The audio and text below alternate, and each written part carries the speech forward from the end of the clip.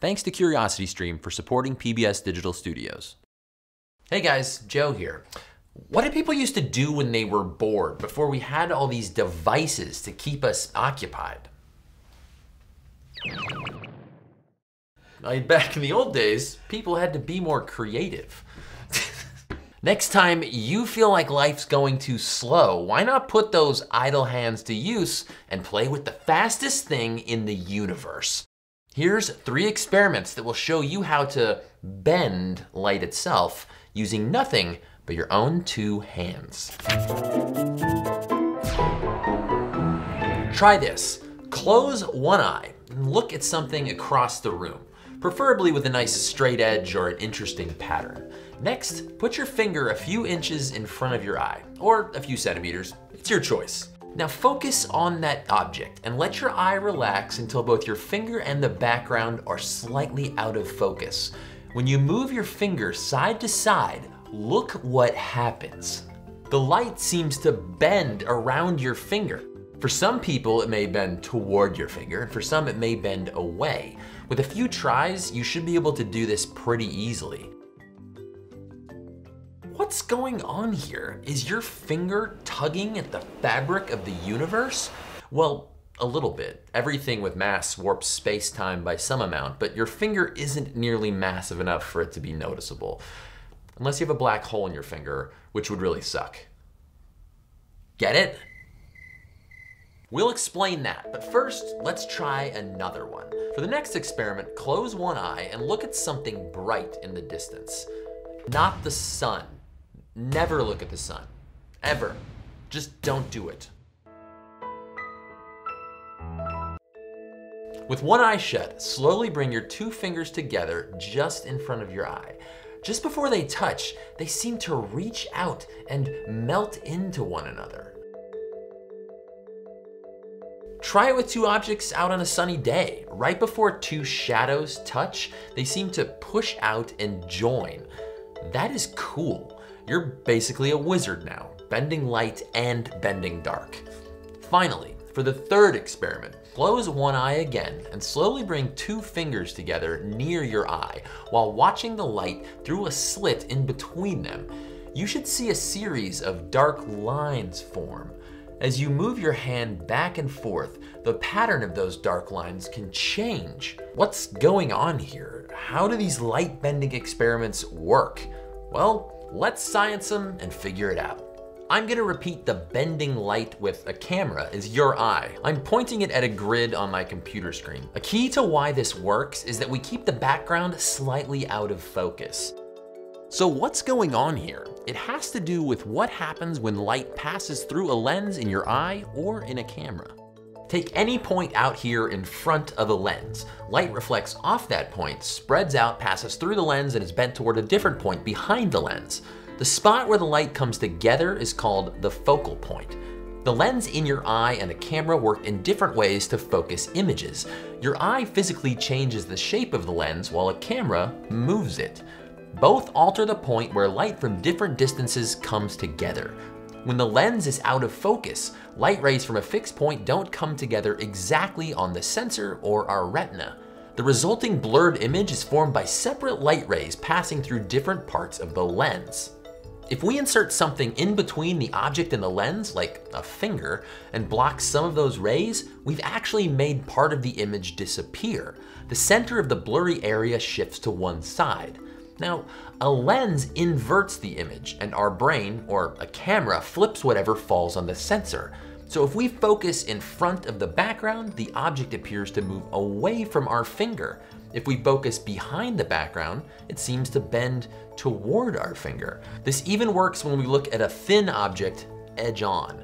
At its most extreme, we can bend the grid so much that it breaks.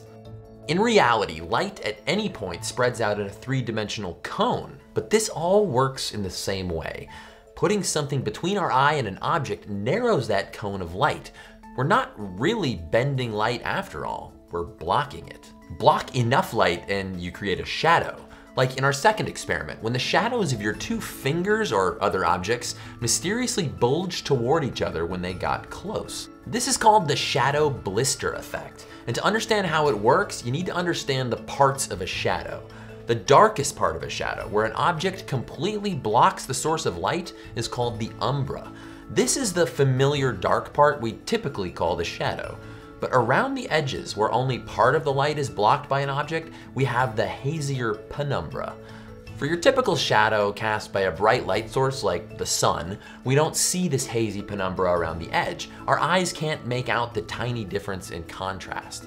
But when two of these penumbra overlap, when two shadows get close enough together, they can block enough light to become visible or invisible, and the shadows appear to bulge out. So what about those dark bands we saw between our fingers? Most of the explanations out there, including several in textbooks, say this is a demonstration of diffraction, the interference of light waves after they pass through something like a narrow slit. That would be really cool, but I'm not sure that's what's happening here, and the experts I've asked about it agree for a few reasons.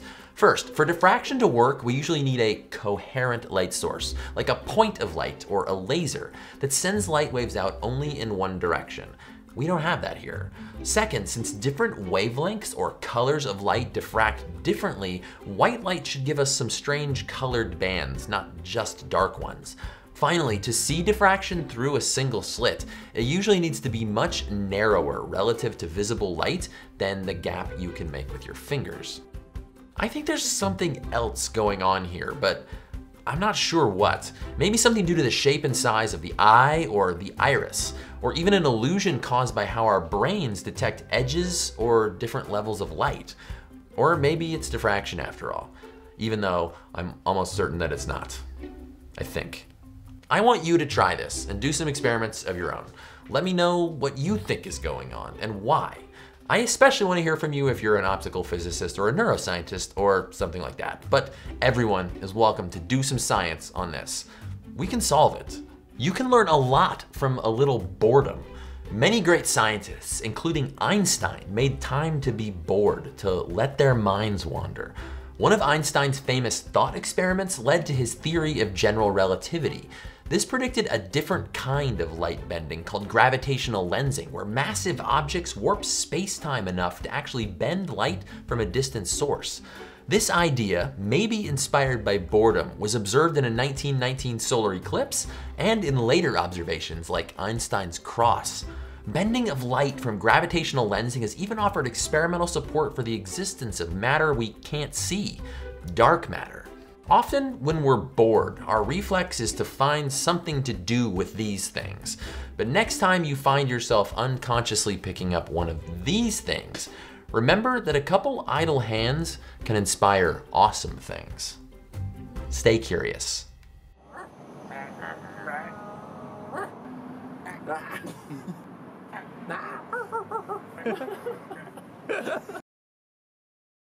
huh. So being bored can be a good way to inspire curiosity. Speaking of curiosity, thank you to CuriosityStream for supporting PBS Digital Studios. CuriosityStream is a subscription streaming service that offers documentaries and nonfiction titles from some of the world's best filmmakers, including exclusive originals. I've been watching Dream the Future, a 19-part series that asks leading visionaries to predict what life will be like in 2050. It's exclusive to CuriosityStream and it's narrated by Sigourney Weaver.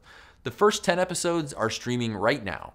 You can get unlimited access today, and for our audience, the first 60 days are free if you sign up at curiositystream.com slash smart and use the promo code SMART during the sign up process.